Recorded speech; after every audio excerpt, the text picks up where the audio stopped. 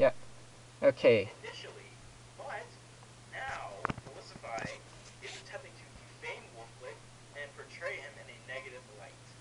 So on the topic of the BG cheating video, uh, Verlisify decides to go into the comments and attempts to justify himself and, you know, completely disregard the dislikes by saying that the people who dislike his videos are definitely not his fans and that it is not worthy of being called criticism because of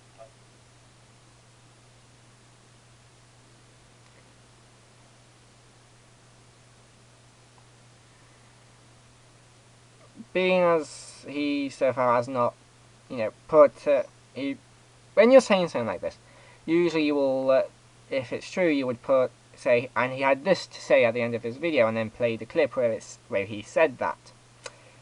And whenever somebody just says it instead of playing the clip where he says it, that just makes me just think, hmm, something not quite right here. But I'll entertain the idea that he did say that, and that is true. It kind of is because, um, here, you know, if you make a video against a YouTuber, you know, you're disagreeing with them, even politely, if you politely disagree with them, their fans are going to flag your video to all hell. But, you know, it's just like, it that is true, you know, it is true that if somebody dislikes your video, dislikes your video when you make a um, video about another YouTuber is probably they're probably not going to be your fan and probably going to be the other YouTuber's fan and probably uh, heard about your video through the grapevine because you know you made a video about their favorite YouTuber.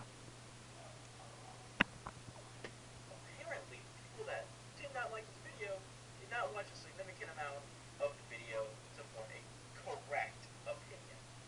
Whereas he tied the site social drama to the Oh yeah, and about the opinion a bit. Uh, there, there are quite a few angry fans out there which can't form a simple sentence on YouTube sometimes. So to say all of them can, you know, arguments are invalid is a generalization, but there are certain t- fan, you know, crazy fans out there that are like that. comments that says that the people that watch this video should not go attack the people that are mentioned in this video. Because apparently it's okay for Verlisify to defame somebody and not use their DMs with permission, but it's not okay for us to do it because, you know, mob mentality is what causes all kinds of drama. Again, like I said earlier, if uh, this would have been said in the video, like he said, he would play the clip where, uh, you know, it would he said it, and it, by all means, prove me wrong. He could have like said it on Facebook where the video was above it or whatever. You know, it's just like if you can prove that it was Verlisify who said it on like YouTube, uh, not well, yeah, YouTube obviously, definitely. uh, Twitter, Facebook, Instagram, or whatever, and prove that that was a real Verlisify and not just a fake account made by people who uh, want to defame him, to you know just simply defame him, like I said. And it's also apparently okay for Verlisify to call people that Gen disgusting people and that they should not play Pokemon. Pokemon, awesome, happy-go-lucky, whimsical children's game, and you have to fucking cheat in it. You are fucking disgusting.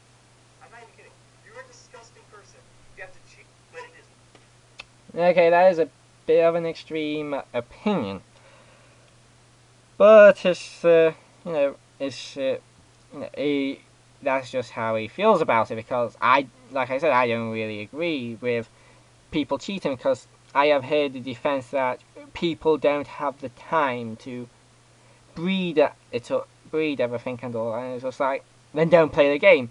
It's like if you would if you're not if you don't have the time to get good at Modern Warfare 3, you're not going to defend them cheating in rocket launchers, infinite ammo, clipping through walls. You're not going to defend that now, are you? Not all bad. Do not worry. There are people out there that know that Verlisify is a huge piece of garbage. One such Again, with the trying to insult, like I said. This is a very uncivilized thing to do. Well, not even uncivilized. Un unbecoming of somebody who wants to get their idea across. His name is Mega Crasher. He has made multiple videos on Verlisify in the past. He has said that Verlisify is a bully and that he is the problem with the Pokemon community. If you want me to send it, if you want to send me a link to his videos, I'll have a look. Maybe come up, uh, maybe do a video on it, but maybe, maybe not. I will actually link that video into the description below, and I will link all the other videos that I here below as a source because you know is bad. About the whole cheating thing, actually approves of cheating. Big shocker, I know. He's actually calling people out, calling for cheating, yet he is a hypocrite and approves of cheating. What I by this is that Verlisify approves of a method called InstaCheck, where you get shiny Pokemon from breeding, I believe, an egg, where it has a shiny value, and that the, the person you give it the egg to has the same shiny value. Therefore, there's a match, and the guy can actually hatch the egg, which will be shiny. Right, I know what he's talking about here. Well, I know how shinies and eggs work. If uh, right, when you breed an egg, it has a uh, uh, it, when it hatches, whether or not it's shiny will be uh, um will uh, be linked to your trainer ID as well. So if uh, two people hatch an egg, the exact same egg, so say you clone an egg, and then two people with two different uh, trainer IDs hatch those eggs, they're not. They they may or may not be shiny. Shiny, you know, it depends on if the ID matches up with it being shiny. Now, so to say to breed an egg that uh, is uh, that is uh, able to become shiny once a trainer with a certain ID hatches it is cheating. Is a dilution of the word cheating. This is not using any uh, out, you know, outer like there is not using a website. It's not using a uh, action replay. It's not using a whatever uh, to uh, modify the save state of your game from how he is making it sound. So, no, that's not cheating. That's using the, the game mechanics to, you know, is using the game mechanics. It's like, that's how the game works.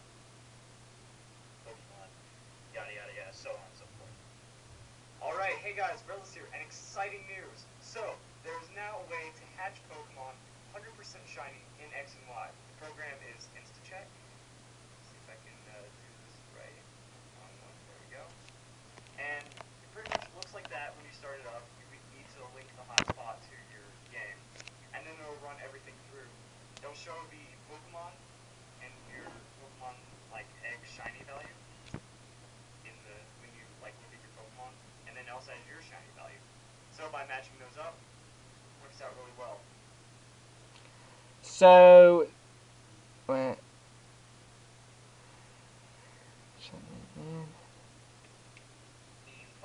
Um, one minute.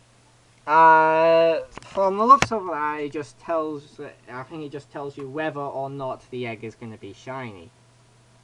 Let me just take another quick look at it. So, The program is InstaCheck. let's check. See if I can, uh, do this right. There we go. And it pretty much looks like that when you start it up. You need to link the hotspot to your game, and then it'll run everything through. It'll show the Pokemon and your Pokemon like egg shiny value in the when you like look at your Pokemon, and then also has your shiny value. So by matching those up, works out really well. Ah. Right, I think I get what it is.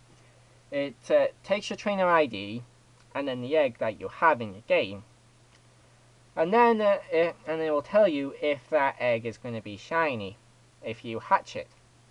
So that's not using an external device to uh, edit the game. I guess you might be able to edit it with it. Uh, it I didn't really say anything about editing it, but that does not look uh, like it was editing the game.